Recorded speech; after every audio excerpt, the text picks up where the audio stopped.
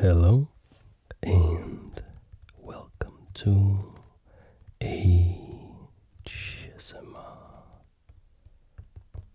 Chess.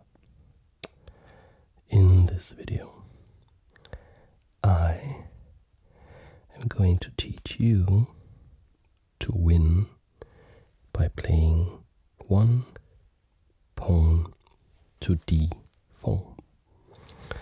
More specifically, I'm going to teach you an opening system called the Queen's Gambit. And this is just a great opening system. It is my main weapon as white, and it's very, very good for newcomers because, in many, many cases, you get to play the exact same setup. You get to develop all your pieces according to the same plan, game after game after game. So you can build experience, you can build intuition, and you can learn how to really crush your opponents with this excellent opening. This video is sponsored by Babbel, the number one app for learning a new language. As you may know, I'm currently learning German, and I've actually gotten to the point where I can read German books just for pleasure. I'm currently reading Momo oder die seltsame Geschichte von den Zeitdieben und von dem Kind, das den Menschen die stohlene Zeit zurückbrachte. As you can hear, I'm getting more and more confident in my pronunciation thanks to Babbel.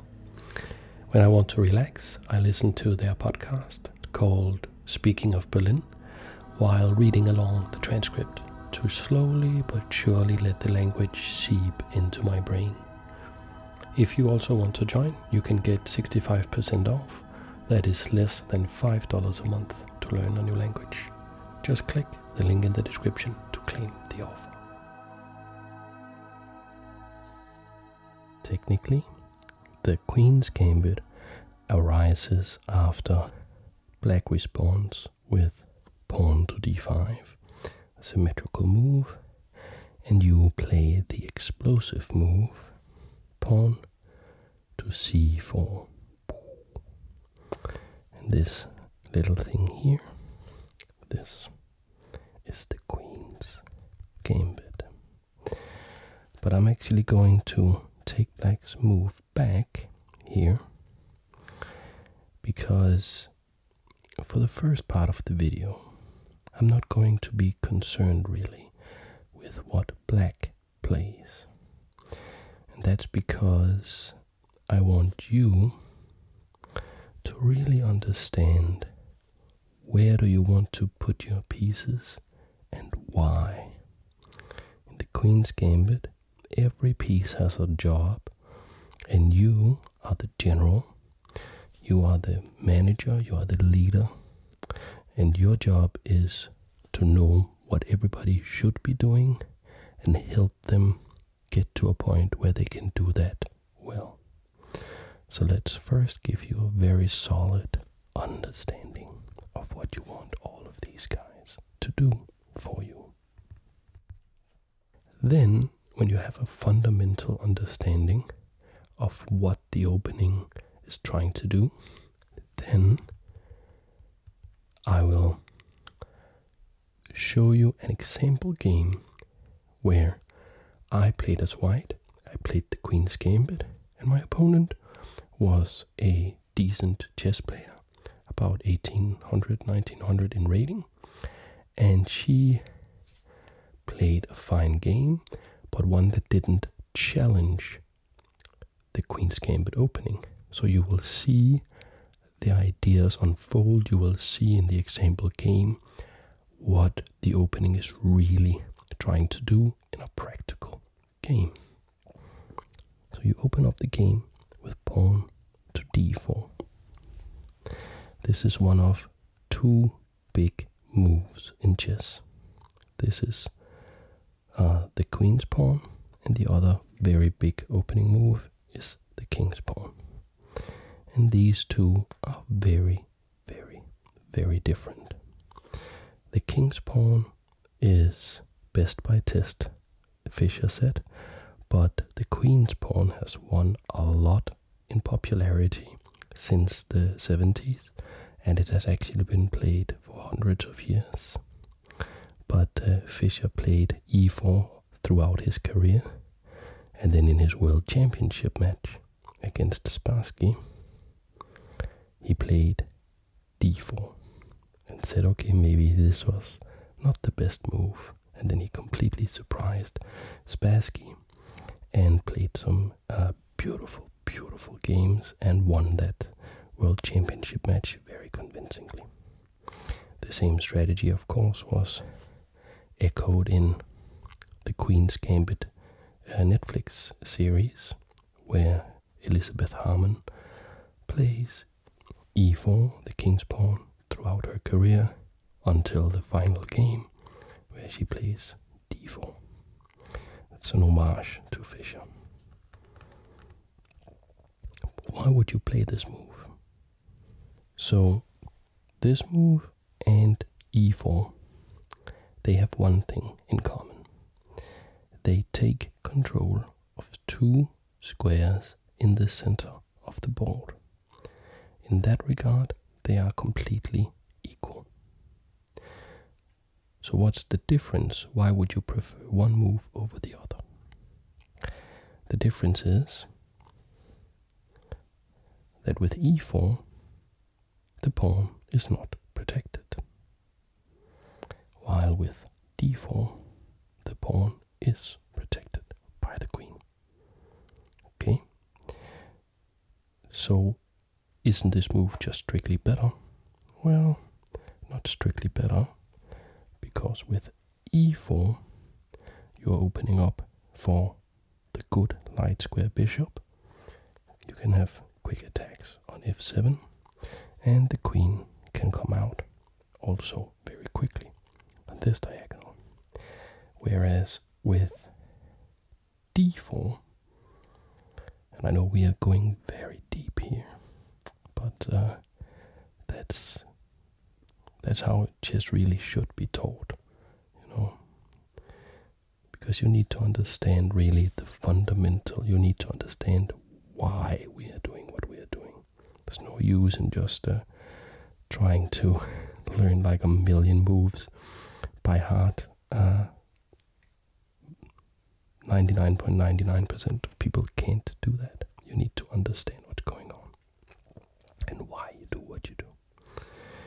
So with d4, this bishop can come out, similar to this bishop. This bishop is a little less strong because this bishop cannot attack f7, and f7 is the weakest point that black has. So in the opening of the game, the light square bishop is a little stronger than the dark square bishop. And also, you can't really de develop the queen uh, effectively in the same way because you don't want to be doing this, developing it like this. It's not. Uh, I'm not going to get too deep into that, but that's not a that's not a particularly effective way of developing the queen.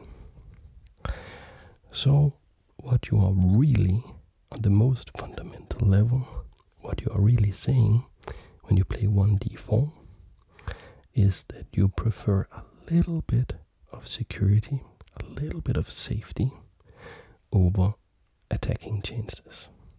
So, you have a little bit more attacking chances with e4 and you have a little a little bit of a more safe game with d4 with the queen's pawn. Uh, you have a little bit uh, you, you have a higher likelihood also of getting to a known position because uh, it's harder for black to mess with you when you play d4 so that is the point. You attack center squares in a safe way where you can play to your strengths and your opening strategy. So that's why you play 1 d4. Now, I was once um, having a beer. This is, you know, this is what I'm not trying to flex or something, anything, but I was having a beer with an actual chess grandmaster Danish guy that I happened uh, to meet, and uh, I asked him, you know, if if you could play any two moves for white instead of only one move, what would you play? And I hoped that he would say something that would really improve my understanding of chess. Um, and what he said was a little deeper than I first gave it credit for. He said he would play this, which was kind of what I expected. Uh, but it's it's quite deep because this, if you if you are able to start the game like this, you actually have a huge huge advantage because look how many squares in your opponent's camp you are attacking. And what's also going on is that you the, the squares that you are attacking, the four squares that you are attacking, they are in the center of the board. And that means that if black wants to get from one part of the board to some other part of the board, uh, he has to go around the center.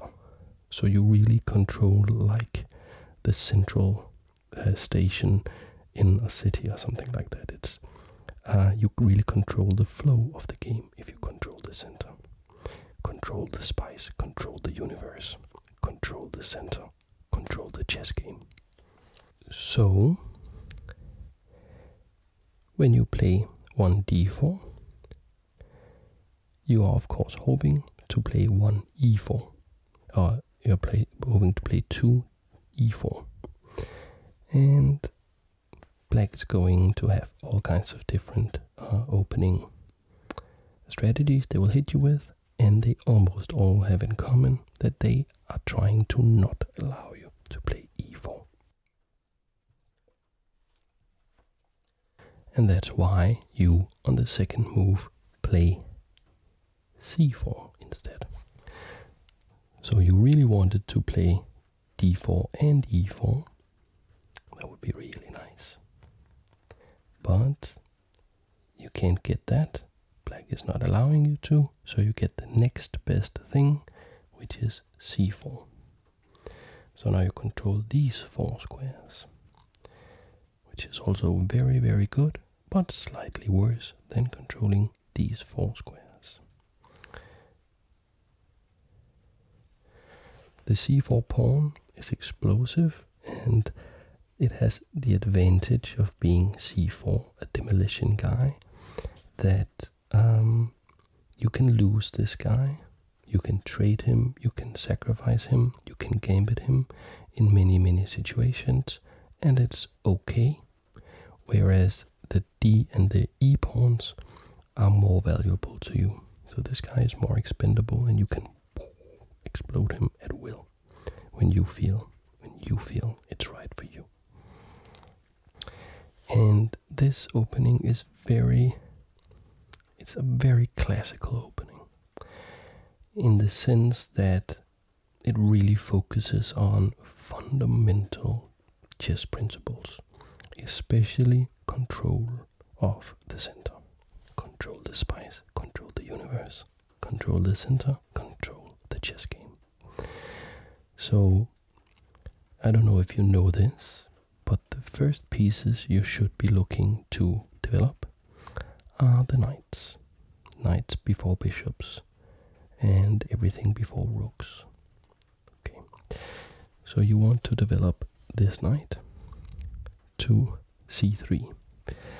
And it's important that you play c4 before you develop this guy so you don't have it trapped. Now this pawn can move. So first c4 and then the c knight.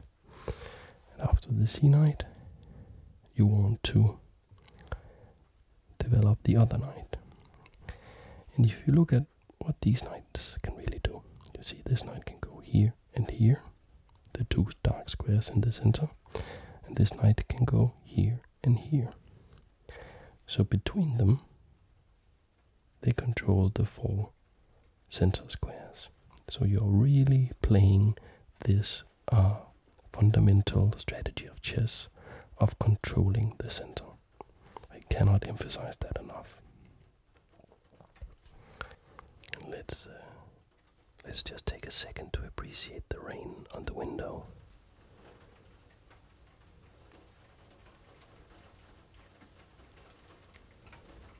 I have had this uh, happen other videos, and people in the comments seem to believe that it was a sound effect. And it isn't. It really it's really just raining on the window. Okay, so now you have to figure out what to do with the bishops. And I actually often play this bishop out before I develop the light squared bishop. But I'm not going to recommend that. Uh, and I'll explain why. I'll, I'll recommend that you play e3. Now, why not e4?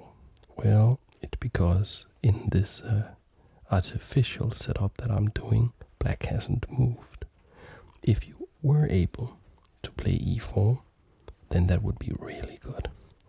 But in 9 out of 10 games, black is really making sure that you can't just play e4, so you play the next best thing, which is e3. And then you want to put your bishop here on d3. And a quick little note about developing this bishop. You, depending on what black is doing, you may, you know, play e3 later or not later than putting this bishop out. Of course, that's impossible. But the move order, you know, you can adapt the move order in what how you respond to what black is doing. If it is the case that black has a pawn on d5, this will happen a lot of the time. Let you, you would try, you would be looking to see if you can get black to first capture on c4 so that you can recapture like this. And then later go back to d3 where you really want to be in many cases. And this is because this is just a small wrinkle but it's you know it has to do with the role the job and the ideas connected to the light squared bishop in the queen's gambit setup. What what will very often happen is you'll play bishop to d3, then they capture, and then you recapture. And that means that the whole move you played, bishop to d3, is wasted because they made you move it again. So you lost what we in chess call a tempo, right? We call that a tempo. You lost a tempo. It's not the end of the world. This is going to happen a lot of times, but try to see if you can wait. You know, don't put it out immediately if you have something uh, else productive to do. It's just a small little detail there absolutely not the end of the world if you have to move the bishop more than once and you lose the tempo. That's okay. But you want to put it on d3. And this is the first time where you develop a piece that is really showing the aggressive ideas in the Queen's Gambit. So the knights and the pawns, they are about the center. They are controlling the center so that you can dictate the pace of the game, so that you won't be attacked ferociously because you will have just a very solid uh, defense set up and you can control the flow of the game, and um, so that your opponent will not get on your side of the board. You know, this is your front line, and it makes sure that your opponent will not you know, cram you and get all up in your face. This guy is not really about the center in the same way. Of course, he is attacking e4, helping you play this pawn forward later, which is what this guy wants to do. This is uh, a Drake pawn, like uh, in uh, in the Sicilian defense. If you watched the Sicilian defense video, there also is a Drake a Drake pawn, and the Drake pawn, you know, it starts from the bottom, but it wants to go to the top. This guy is aggressive. He's looking at black's king side. And when we start looking at the different opening systems that black can try to hit you with, you'll see that black will almost always castle to the king side. Means the king will be here. And that means that this guy is attacking the castle. And he's actually going to work uh, together with the queen. I'm going to show you that in a little bit. Um, after moving this bishop out, the most common move order and what I'm going to uh, recommend is to castle. And it's just for beginners. I just recommend, you know, get castled quite quickly um, because it's just so much harder to checkmate you when you have your king castled, and when it's hard to checkmate you, then you have more time to execute your plans. You can also uh, play the next move, queen to c2, before castling. Depends on the position. Depend on depends on what black is doing. Okay.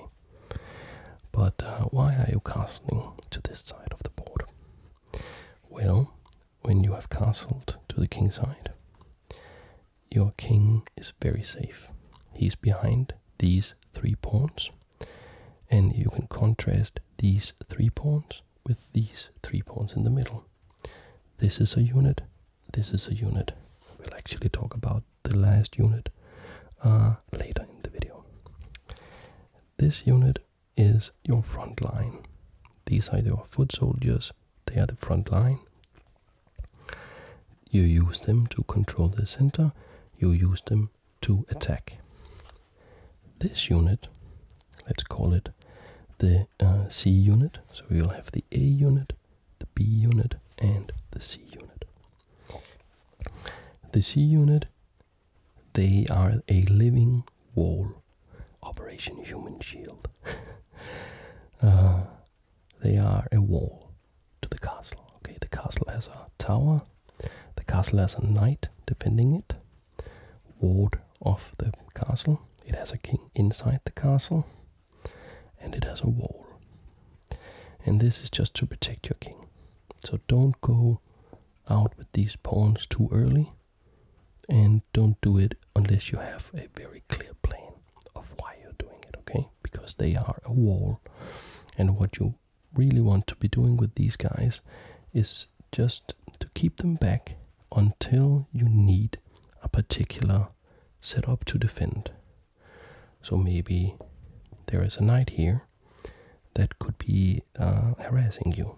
Maybe there is a situation where, let's say this, and you really need this bishop, uh, this knight to move. You have some plan you want to go here, and there's some plan you want to you want to execute, and then you want to be able to say, okay, I'll use the living wall now to kick this knight away. Because because otherwise, of course, if you move the, move this guy, this is no longer attacked or defended. The knight is defending this guy. Then you are faced with checkmate. And therefore, before you want to move this, you kick this guy away. He moves, and now you can move. Okay, so that um, that is that is the goal of this wall. You you keep it back until you find out okay what formation works against the thing that black is specifically uh, threatening me with. Sometimes it's this move you need to play. And that depends on what black is doing. Okay, So unit C is the living wall. And then actually a lot of times before we even develop the dark squared bishop, we develop the queen. And the queen in the queen's gambit, most of the time, you will put her on c2. So the queen, that is, you know, the best piece on the board, and you want to be aggressive with the queen. In the queen's gambit, uh, your queen has two main um, soldiers under her command, those are the bishop, the light squared bishop, and the king's knight. These guys, in so many, so so many games, you will get an attack like this with the knight and some bishop capturing something here, checking a king that will be here. We're going to look at that in some examples later. But uh, she is aggressive here on this diagonal. Um, of course, she can do a lot of other stuff, but that is her primary uh, function in the, the Queen's Gambit.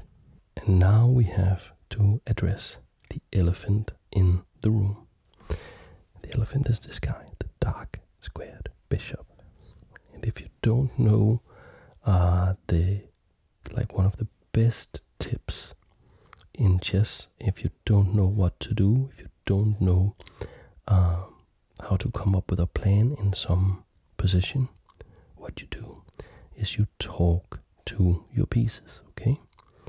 And let's talk to these guys. Okay, we talk to unit uh, B here, and they are just chilling. They're having a great time.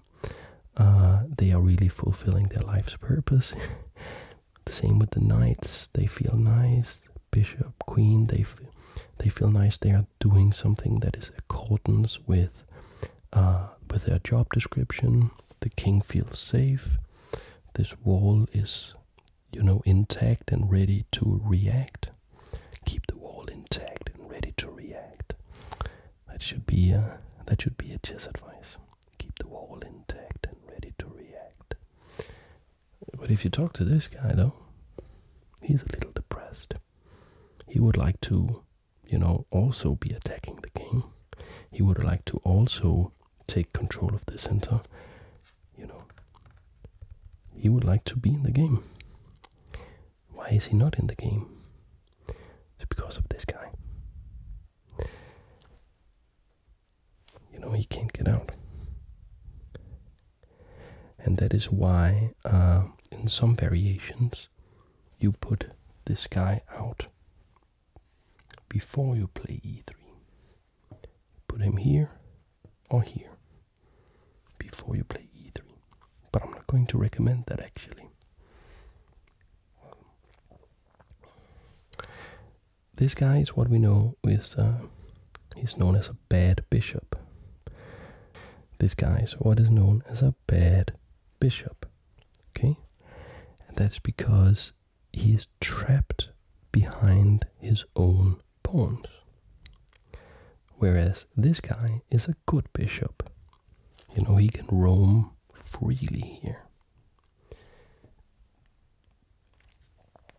So you have the good bishop and the bad bishop. And you want to make this guy better.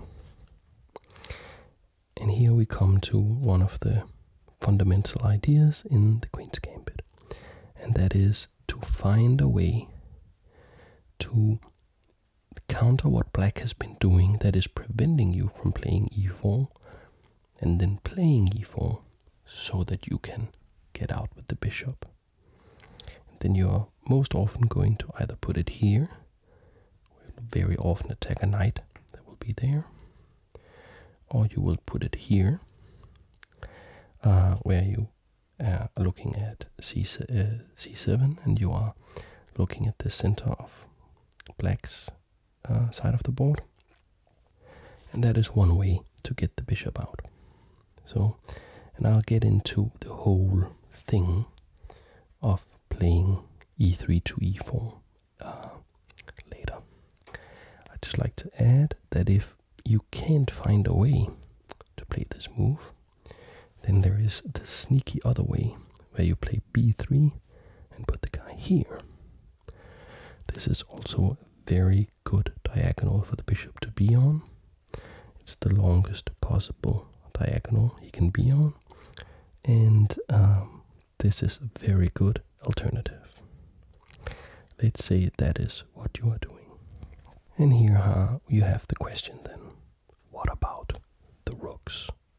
What role are they going to play? Well, one of the rooks is a tower. It is a tower in the castle. And therefore, it already has a job description. It is already doing something. So, you may need it. You probably will need it to attack at some later point. But you start with the other one, the unemployed rook. Okay, so the unemployed rook, you want to find out where on this back rank you want to put this rook. Where do you want to put this rook? Okay. And usually, actually, it will be on c1. How come the rook will be on c1?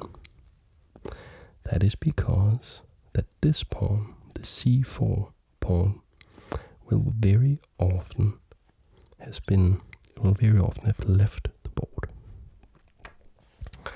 And you want to put the rook on the open or semi-open file. A file is open if there are no pawns on it, and it is semi-open if only the opponent has a pawn on the file. So that means that you can get these guys out of the way when the position calls for it, and the rook is a cannon lined up against your opposing army. And if it happens that it's the e3 pawn that is gone, then that is where you want to put the rook. You want to put the rooks on the open files, and if possible, you want to make a battery of the rooks where they support each other. So wherever this rook goes, it is already defended. Okay.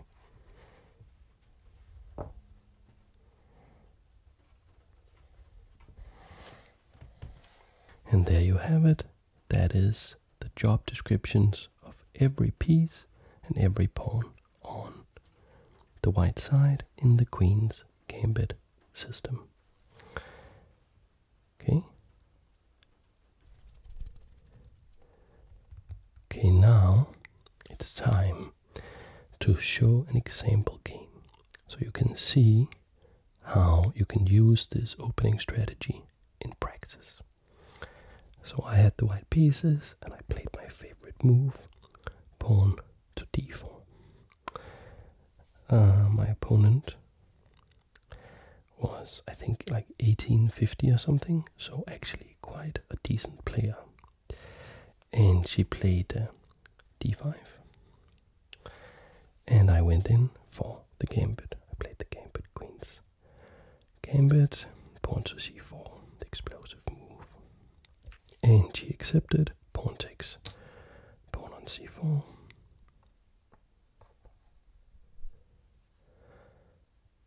Here I played pawn to e3. This uh, solidifies my pawn on d4, and of course, we know it opens up the pawn, uh, the attack on the pawn from the bishop.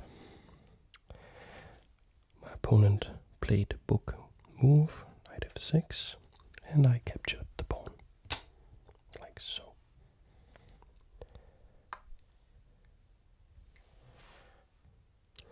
And you see, I'm just going with plan. I'm putting my pieces on the squares that they want to go to.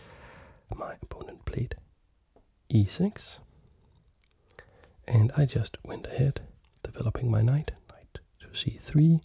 This is looking at e4. I'm beginning to think about ways to be able to push this pawn to e4 and get in the break so I can get the bishop out uh, in the most effective way.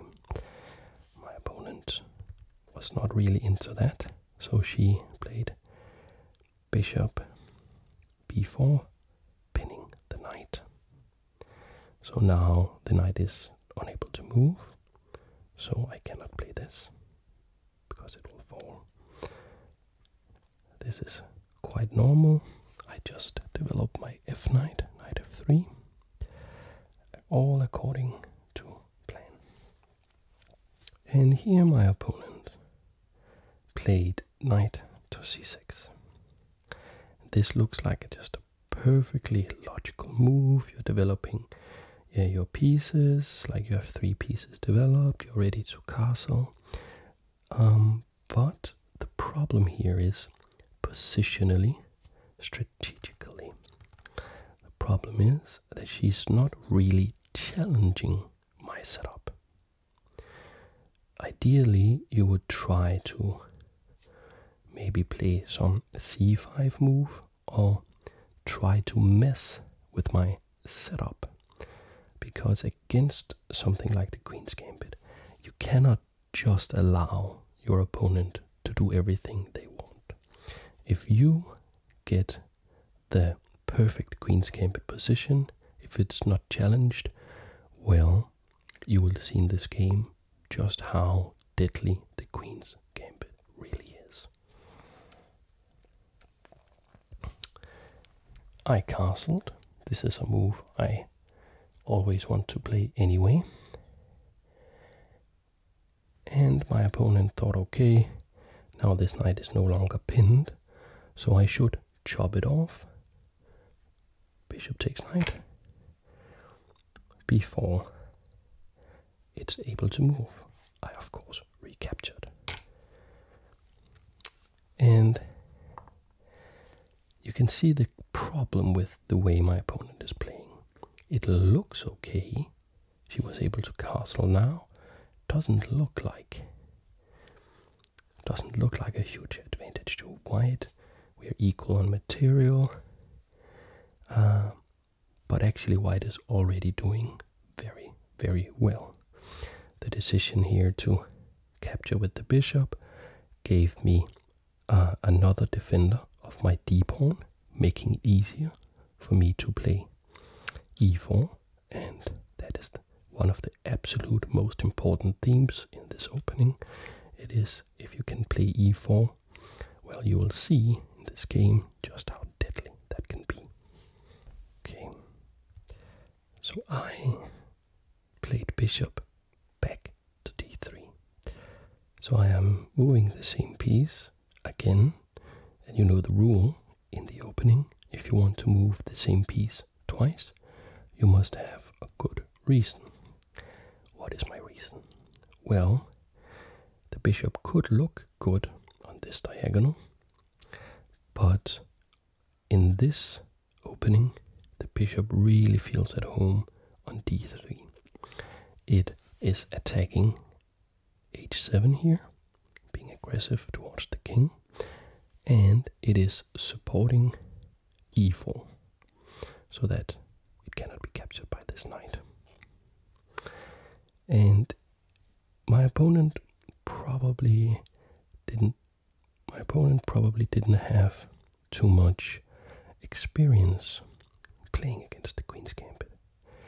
And maybe she just thought, you know, it's equal on material, my king looks safe, it's fine, I just need to develop my last I just need to develop my last piece and I will have absolutely fine equal position. So she played b6, thinking about fianchettoing the bishop. And b6 is not doing anything against my threat, which is to play e4. And now you can see this bishop, it has a way into the game all of a sudden. So this guy is actually active without even having moved.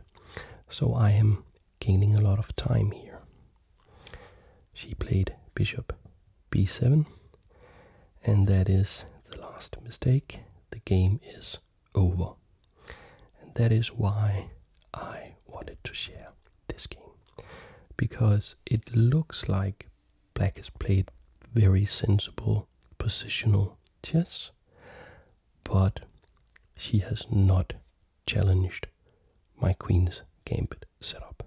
I have had a dream version of the queen's gambit setup. I have a pawn on c3 that is defending d4. I have played e4. I am ready to play um, e5, and um, my king is safe. My pieces are active, and I am far ahead in development because I was able to get my pieces active. I was able to get some of my pieces active without even moving them. So the queen and the bishop are already in the game uh, and they haven't moved, so I am ahead in tempo there.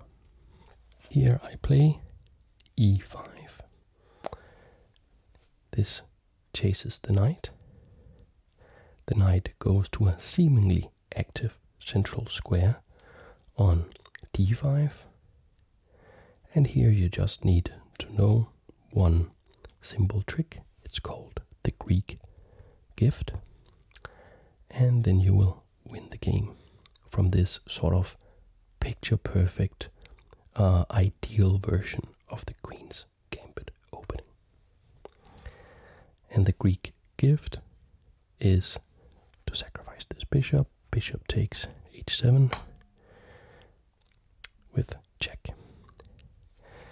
And the point here is uh, that if black takes, black didn't take. Black played king h8. But if you take, I now have knight g5, check. Notice that the uh, bishop is already active in defending this, so the queen cannot come in and capture. And if you go back,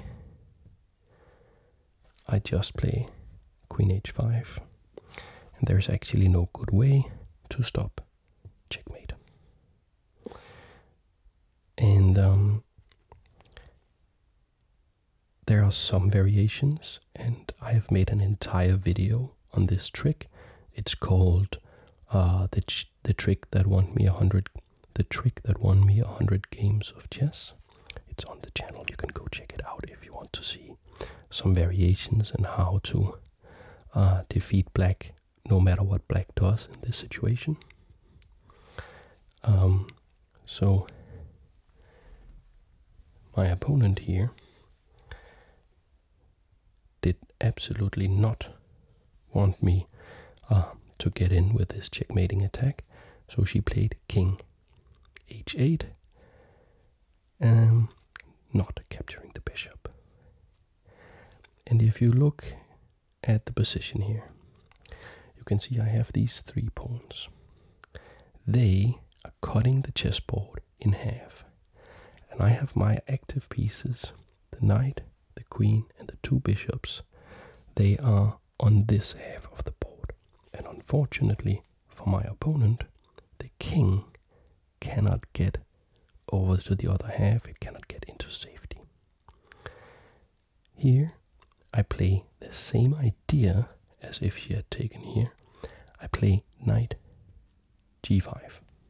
And my idea is it's the same pattern, you know. I just want to play queen h5, move the bishop, and checkmate. So my opponent plays g6. This is trying to trap the bishop, it's trying to give the king some escape square, and it is defending against queen coming here to h5. So I say, okay, I want to get my queen in. I can't go to h5, so I will go to g4 instead. Very simple plan. I want to come here, and then I want to execute the same checkmating idea. So my opponent tried to play king a g7 here, getting out of this file, getting ready to get the rook in trying to defend. And here I just need to find the correct uh, attacking idea. And I want to basically say, okay, my attack must crash through what is uh, preventing me. Basically, it's just these pawns. That's the only thing really that's between my forces and the king.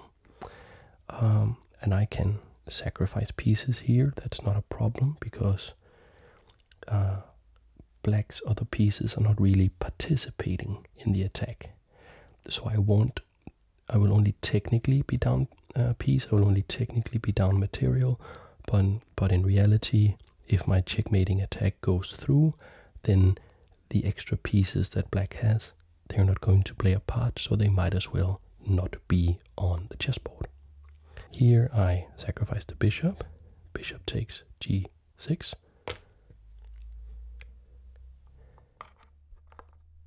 The point is, if she would have taken the bishop, like so, this pawn is no longer protected. So knight takes e6, check, and winning the queen with a royal fork.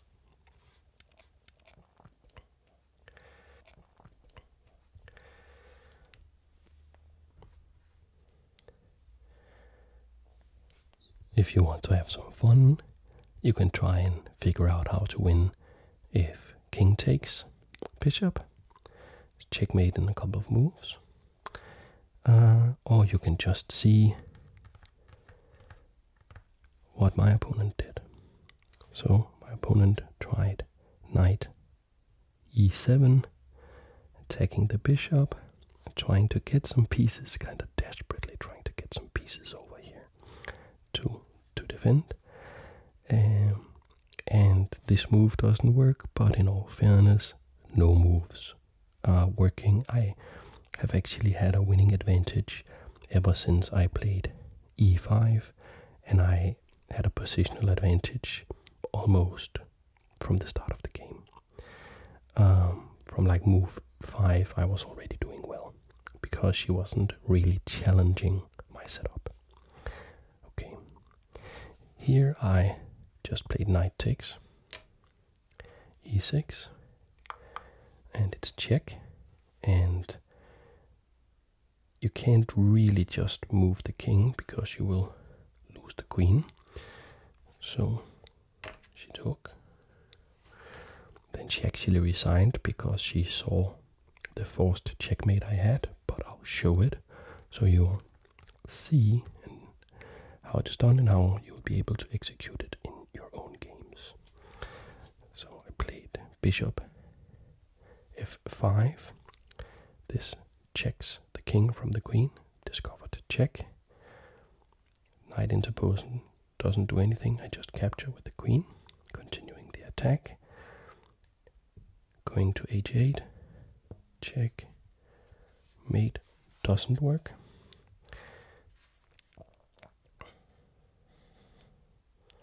So king f7 is the only try. Now I don't. I can't checkmate like this. It hangs the queen. So I use a common trick. I play the check from a distance. Queen h5 check. Shutting the door. Can't go here. Um, if you go here, I have the same checkmate. Only one move. Interpose the knight. And I can now capture. Check. Only one legal move. King to e7. And can you find the checkmate? The checkmate is queen takes e6.